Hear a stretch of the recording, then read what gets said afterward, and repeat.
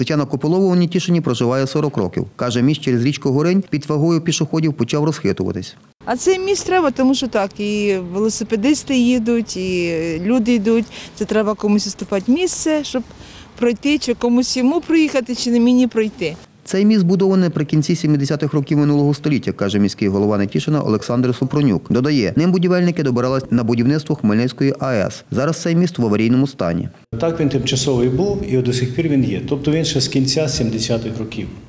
Е, Ми зробили обстеження, думали використати його як основу, все-таки та труба вона досить е, потужна, там маю на увазі по діаметру, все інше. Його несучі конструкції практично в 6 разів менше, ніж необхідно для, скажімо, того, щоб її нагружати, треба відповідно використовувати. Тому вона аварійна, визнана За словами Олександра Супронюка, новий пішохідний міст будують поряд зі старим. Він з'єднує дачні масиви з центром міста. На його зведення з міського бюджету взяли майже 4 мільйона гривень, розповідає начальник управління капітального будівництва виконавчого комітету Нітішинської міськради Ярослав Петрук. Рішенням 52-ї сесії Нетішинської міської ради управлінню капітального будівництва було передано функції замовника по будівництву моста в районі вулиці Михайлова через річку Горинь в місті, Нетішин.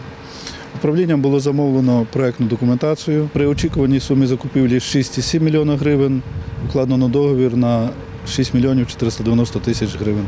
Монтаж металоконструкцій планують закінчити за 2-3 тижні, в залежності від погодних умов, каже майстер будівельно-монтажних робіт Юрій Олександрук. В загальному міст довжиною 60 метрів, основна прольотна частина моста 40 метрів. По огородженню міст буде шириною, ну, пішохідна прохідна частина 3 метри. По металоконструкціях несуча частина 2 метри між балками.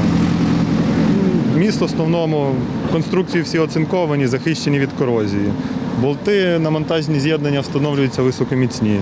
За словами міського голови Олександра Супронюка, всього у Нітішині є два автомобільні і п'ять пішохідних мостів. Аби повністю забезпечити 37-тисячне місто транспортними і пішохідними розв'язками, необхідно перебудувати один пішохідний міст під автомобільний і реконструювати два пішохідних, каже Олександр Супронюк. Михайло Жили, Олександр Горішевський. Новини на Суспільному. Хмельниччина.